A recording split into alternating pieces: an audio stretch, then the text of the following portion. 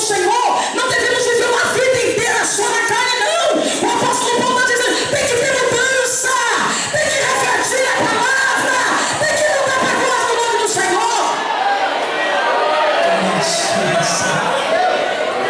O apóstolo Paulo começa falando e dizendo essas coisas. Ele diz: Você quer ver outro sinal da carnalidade que está no meio de vocês? É os grupinhos, as panelas que vocês fazem aí na igreja de Corinto. É, isso é sinal Porque eu estou com minha panela, estou com meu grupo e ninguém entra. Eu achei que isso aqui era igreja. É, eu achei que Jesus governava tudo e fazia o que era dele, a vontade dele, aqui nessa casa. Segunda coisa, o apóstolo Paulo diz assim: vamos precisar resolver outro conflito antes que ele venha. Qual é o segundo conflito, irmã Silvana? Há um problema sério na igreja de Corinto de imaturidade espiritual. Problema de imaturidade espiritual. Sabe aquela pessoa que deveria ter um comportamento maduro, espiritualmente falando, e não tem? O apóstolo Paulo diz: Pois é, serve ao Senhor há tantos anos, você deveria ser diferente. É o que o apóstolo Paulo está dizendo para a igreja de Corinto. Você deveria agir de outra maneira. Ei, não fica colocando a culpa em quem está no teu lado, não. O Senhor está falando com ele. Você deveria ser diferente. Você deveria agir de outra maneira. Deveria, para a glória do nome do Senhor. Algumas pessoas pensam que quando o apóstolo Paulo começa a refletir sobre esse texto, que ele está menosprezando os obreiros.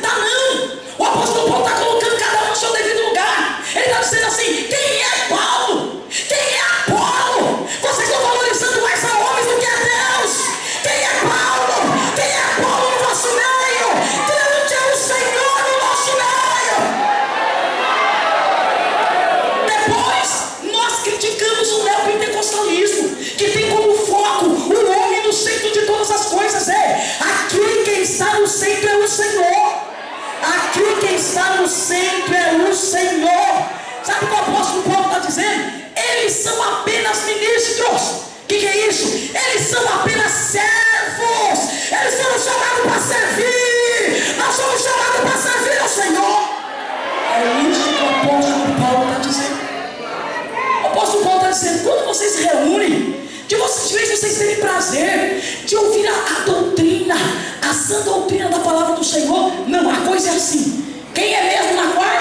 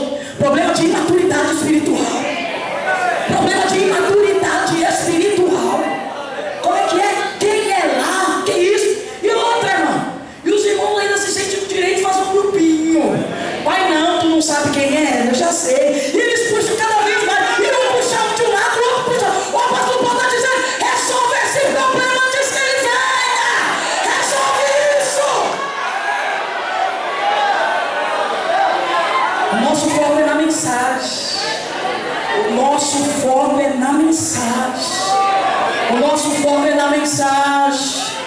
O nosso foco não é, é uma coisa tão assim. E aí, os instrumentos vão se inchando, vão se sentindo alguma coisa. E Deus está dizendo: cadê meu espaço? Cadê a gente fala, Senhor, faz prodígio, faz milagre. Deus está dizendo: eu vou fazer quando você reconhecer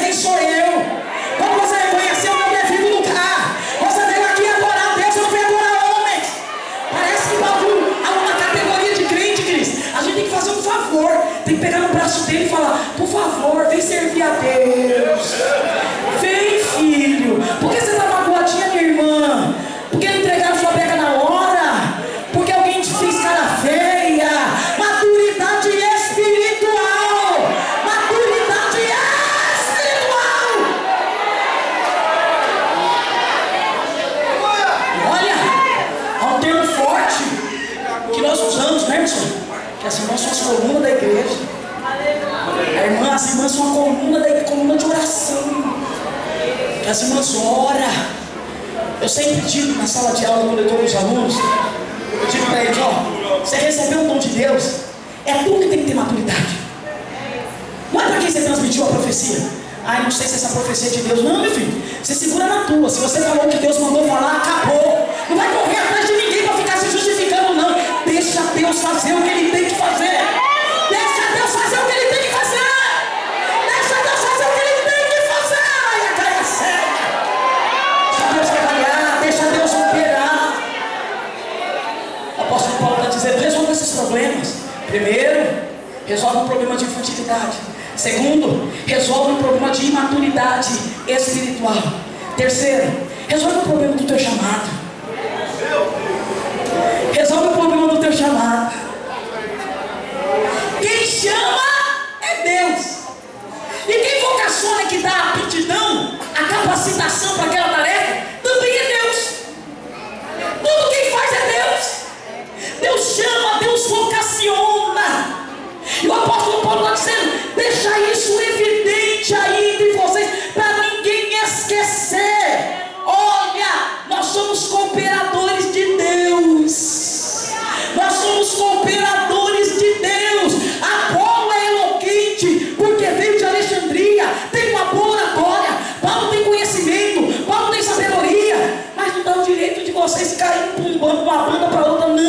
Nós somos cooperadores, é de Deus, é de Deus,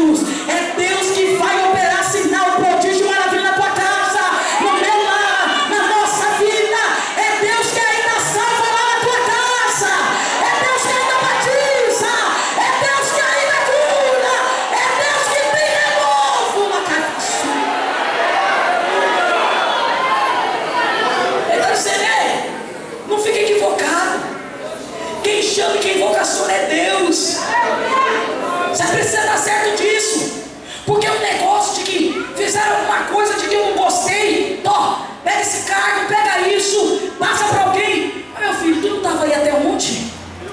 Meu irmão, pra onde tu vai depois do congresso? Vai entregar o quê? Vai ficar onde Deus te colocou.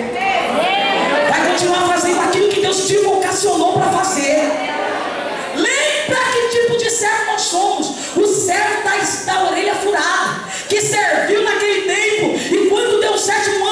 sair, nós voluntariamente dissemos para ele: fura a minha orelha, porque eu quero ficar, eu quero te servir, eu quero te adorar, eu quero te glorificar, capa séria. Voluntariamente. Ele disse: te quero. E você disse: vem, está gravaço. Vem, vem, vem. Deus é quem dá o crescimento. Nessa noite Deus vai trazer nos nossos corações alegria para cumprir o chamado que Ele te deu. Essa noite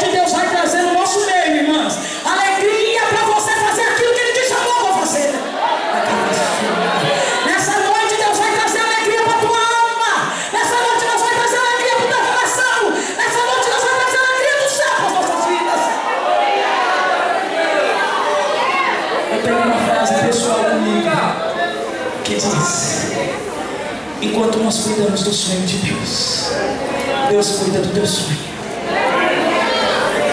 Deus vai cuidar daquela questão difícil que está lá dentro da tua casa. Deus vai cuidar da libertação do teu filho que está encostado lá na tua casa.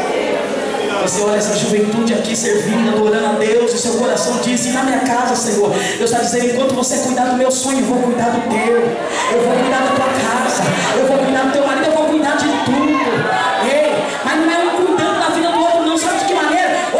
céu dizendo: Senhor, eu estou aqui para te servir, eu estou aqui para te agradar, eu estou aqui para te louvar, eu estou aqui para te exaltar, eu estou aqui para te bendizer, eu estou aqui para te adorar, Senhor. Eu estou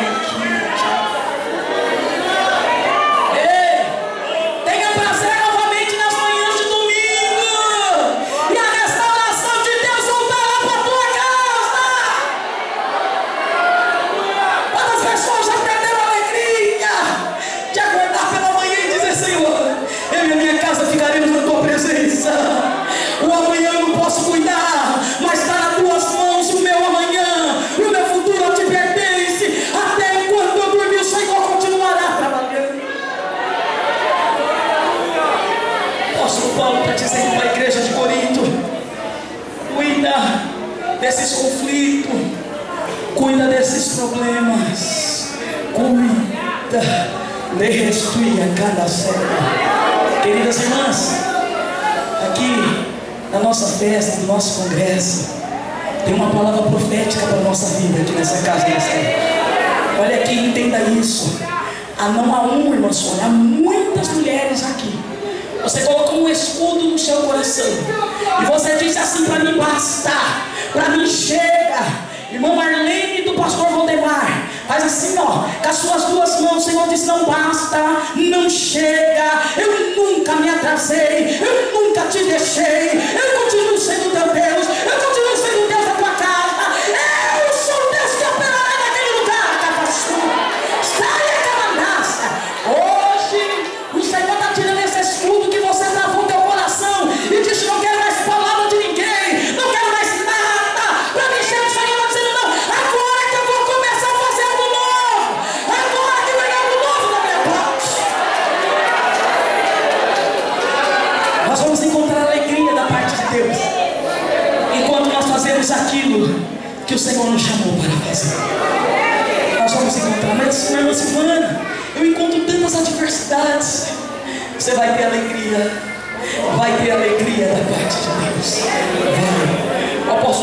dizendo isso. Resolve mais esse problema antes que ele venha.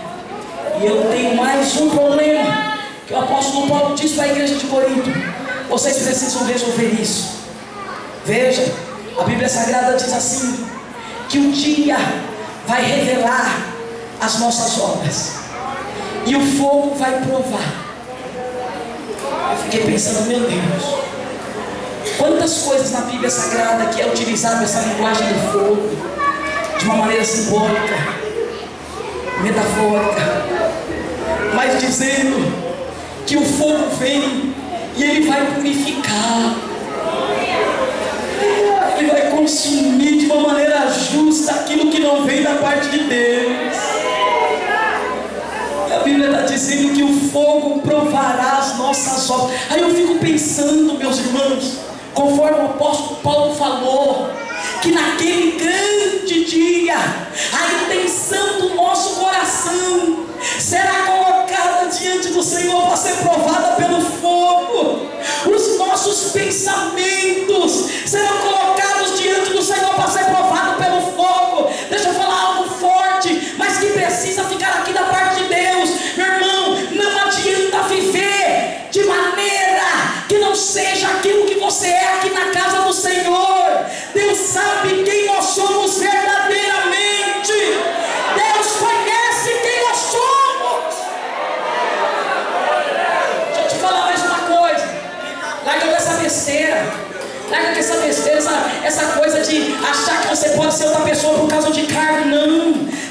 Nisso, não. Deus está pedindo para que eu deixe isso aqui em cima. Deus não está nisso, não. Você nem é